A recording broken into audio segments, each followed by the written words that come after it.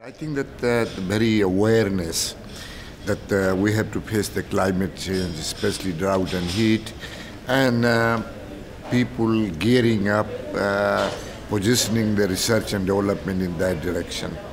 I also very pleased that um, we I, I, attended the Global Rust Initiative uh, last week, and some of the findings very outstanding in the way that uh, looks like that uh, we have uh, now very good control. I like to see accelerated research on yellow rust problems globally. I like to see that accelerated research on drought and heat, uh, especially to circumvent the changes in the climate's fluctuations, uh, which might be occurring very frequently. I like to see these accelerated.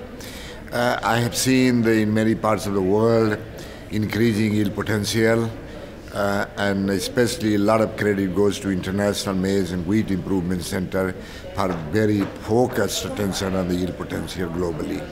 So I'm very pleased at the way they putting out the products and very pleased at the way the NARS have organized, uh, national research programs have organized to use those variability for the benefit of them.